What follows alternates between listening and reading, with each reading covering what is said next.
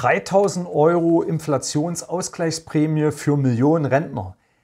Ist das möglich? Ist eine Zahlung machbar? Mein Name ist Peter Knöppel, ich bin Rechtsanwalt und Rentenberater von Rentenbescheid24.de. Die Energiekosten und die Inflation steigen auf Rekordwerte. Das ist ja bekannt. In der gesamten Eurozone lag die Inflation bereinigt Ende November 2022 bei über 10 Prozent. Das sind Wahnsinnswerte.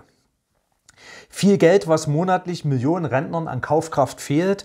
Ein kleiner Ausgleich für die gestiegenen Energiekosten gab es ja am 7.12.2022 in Form der Energiepreispauschale nach dem Rent-EPBG. Da gab es also für rund 20 Millionen Rentnerinnen und Rentner schon eine erste Zahlung. Aber die Energiepreispauschale für Rentner hat nichts mit der Inflationsausgleichsprämie zu tun. Das sind zwei völlig unterschiedliche Schuhe. Um den Nachteil der hohen Inflation auszugleichen, hat der bundesdeutsche Gesetzgeber beschlossen, dass Arbeitgeber ihren Mitarbeitern in freiwilliger Form eine Inflationsausgleichsprämie bis zu 3000 Euro zahlen können. Geregelt ist das im Paragraph 3 Nummer 11c Einkommenssteuergesetz.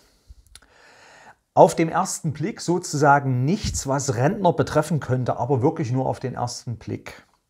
Arbeitgeber können auch gesetzlichen Rentenempfängern diese Form des Ausgleichs der inflationsbedingten Nachteile zahlen. Und das geht sogar relativ einfach. Arbeitgeber können ihren Arbeitnehmern die sogenannte IAP, Inflationsausgleichsprämie, bis zu einem Betrag von 3000 Euro in der Zeit vom 26. Oktober 2022 bis zum 31.12.2024 steuer- und sozialabgabenfrei gewähren. Schon mal ein großer Vorteil. Wer als Rentner im Jahr 2022 ab dem 26.10.2022 in einem Arbeitsverhältnis neben der gesetzlichen Rente steht, sei es Voll- oder Teilzeit, als kurzfristig Beschäftigter oder als Minijobber, kann von seinem Arbeitgeber steuer- und abgabenfrei diese IAP Inflationsausgleichsprämie erhalten.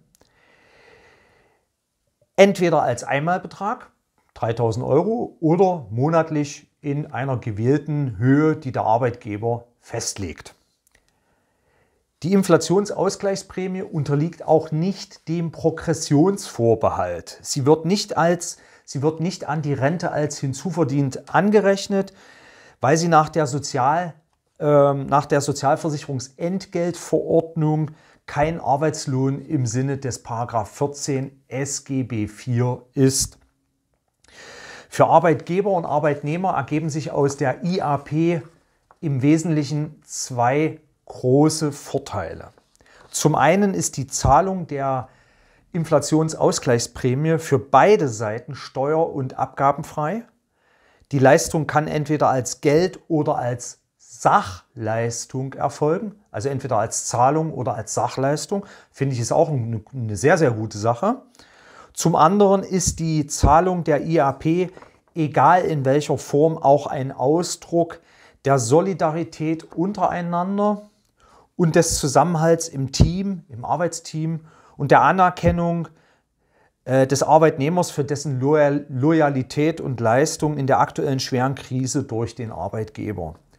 Auch wenn es nur monatlich 50 Euro wären, die der Arbeitgeber an seinen Arbeitnehmer als Inflationsausgleichsprämie zahlen würde, würde die Bindung an das Unternehmen deutlich erhöhen und auch die Loyalität des Arbeitnehmers gegenüber dem Arbeitgeber. Ich finde, das ist keine schlechte Sache.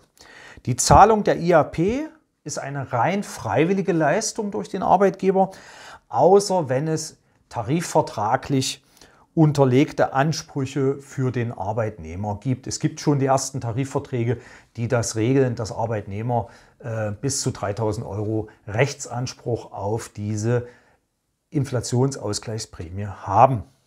Rentner freuen sich sicher, wenn ihr Arbeitgeber, auch wenn es nur im Minijob-Verhältnis sind, monatlich ein paar Euro Steuer- und Abgabenfrei obendrauf packen.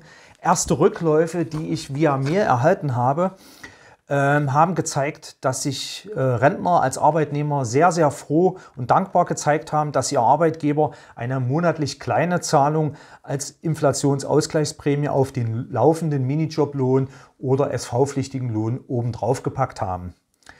Ich selbst habe mein Team von Rentenbescheid24.de bestehend aus acht Angestellten im Dezember 2022 erstmals eine Inflationsausgleichsprämie gezahlt. Ich habe damit auch meine Wertschätzung für den Einsatz meiner Kollegen in der Krise zum Zusammenhalt unseres Unternehmens zum Ausdruck gebracht.